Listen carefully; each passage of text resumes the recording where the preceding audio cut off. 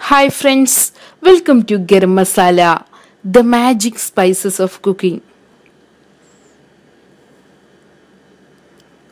ഇതൾ ഒറോട്ടി ഇതൾ പത്തിരി അല്ലെങ്കിൽ കിണ്ണപ്പത്തിരി ഇന്ന് നമുക്ക് മലബാർ ഡിഷായ ഇതൾ പത്തിരി അല്ലെങ്കിൽ കിണ്ണപ്പത്തിരി എങ്ങനെ തയ്യാറാക്കുന്നതെന്ന് നോക്കാം. ഇതിനു വേണ്ട ചേരുവകൾ ബസ്മതി റൈസ് രണ്ട് കപ്പ് വേവിച്ചു വെച്ചിട്ടുള്ള അരി അര കപ്പ് തേങ്ങാപ്പാൽ രണ്ട് മുതൽ രണ്ടര കപ്പ് വരെ നെയ്യ് മൂന്ന് ടേബിൾ സ്പൂൺ ഉപ്പ്. ആദ്യം നമുക്ക് ബസ്മതി റൈസിനെ നാല് മുതൽ ആറ് മണിക്കൂർ വരെ കുതിർത്തിയെടുക്കണം.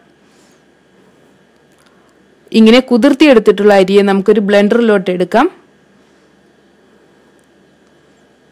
ഇനി ഇതിലോട്ട് ആവശ്യത്തിന് തേങ്ങാപ്പാൽ ഒഴിച്ചു കൊടുക്കാം. നമുക്കിതിനെ അടച്ചു വെച്ച് ഒന്ന് അരച്ചെടുക്കാം.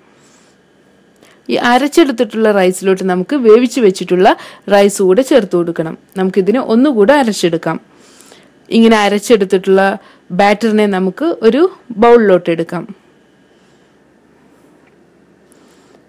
ഇതിലോട്ട് നമുക്ക് ആവശ്യത്തിന് തേങ്ങാപ്പാൽ ഒഴിച്ചു കൊടുക്കണം. നമുക്കിതിനെ നന്നായി ഒന്ന് മിക്സ് ചെയ്തെടുക്കാം. ഇതാണ് നമ്മുടെ ബാറ്ററിന്റെ പരുവം.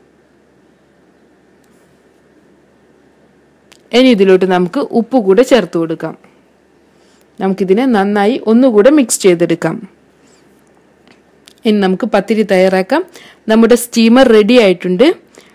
നെയ് തടവിയ ഒരു പ്ലേറ്റിലോട്ട് നമുക്ക് ഒരു തവി ബാറ്റർ ഒഴിച്ചു കൊടുക്കാം. ഇനി ഇതിനെ അടച്ചു വെച്ച് അഞ്ച് മിനിറ്റോളം സ്റ്റീം ചെയ്തെടുക്കണം. ഇപ്പോൾ നമ്മുടെ ബാറ്റർ നല്ല ഡ്രൈ ആയി വന്നിട്ടുണ്ട്. ഇനി ഇതിന്റെ മുകളിലായി കാൽ ടീസ്പൂൺ നെയ്യ് തടവി കൊടുക്കാം. മൂന്ന് മുതൽ നാല് ടീസ്പൂൺ വരെ തേങ്ങാപ്പാൽ കൂടെ ഇതിന്റെ മുകളിലായി നമുക്ക് ഒഴിച്ചു കൊടുക്കാം ഇനി നമുക്ക് ഒരു തവി ബാറ്റർ ഒഴിച്ചു കൊടുക്കാം. ഇതാണ് നമ്മുടെ സെക്കൻഡ് ലെയർ നമുക്ക് ഇതിനെ അടച്ചു വെച്ച് സ്റ്റീം ചെയ്തെടുക്കണം. ഡ്രൈ ആയതിനു ശേഷം ഇതിന്റെ മുകളിലായി നമുക്ക് നെയ്യ് തടവാം. അടുത്തതായി നമുക്ക് തേങ്ങാപ്പാൽ ഒഴിച്ചു കൊടുക്കാം. ഇനി നമുക്ക് ബാറ്റർ ഒഴിച്ചു കൊടുക്കാം. നമുക്കിതിനെ സ്റ്റീം ചെയ്തെടുക്കണം.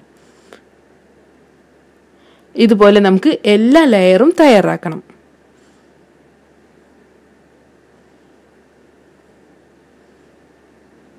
അവസാനത്തെ ലെയർ നമുക്ക് അഞ്ച് മുതൽ പത്ത് മിനിറ്റ് വരെ സ്റ്റീം ചെയ്തെടുക്കണം.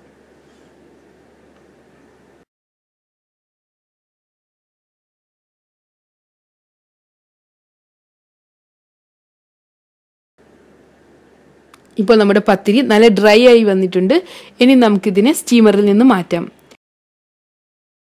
ചെറുതായൊന്ന് തണുത്തതിന് ശേഷം നമുക്കിതിനെ അൺമോൾഡ് ചെയ്തെടുക്കണം. അങ്ങനെ നമ്മുടെ ടേസ്റ്റി ഇതൾ പത്തിരി അല്ലെങ്കിൽ കിണ്ണപ്പത്തിരി തയ്യാറായിട്ടുണ്ട്. നമുക്കിത് ചൂടോടെ Malabar chicken curry mutton curry beef curry vegetable kurma ഇവയുടെ കൂടെയെല്ലാം സെർവ് ചെയ്യാം. താങ്ക്